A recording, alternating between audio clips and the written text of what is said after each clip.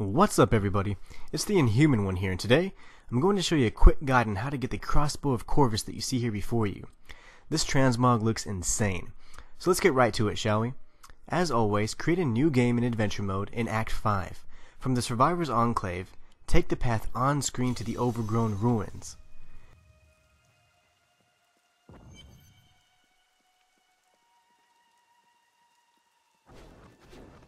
Don't worry about getting lost since the path is linear. Follow the path until you reach an area with a set of stairs, and make your way down them to reach the Bloody Marsh. Once you're in the Bloody Marsh, you'll need to search the entire map for a mysterious chest.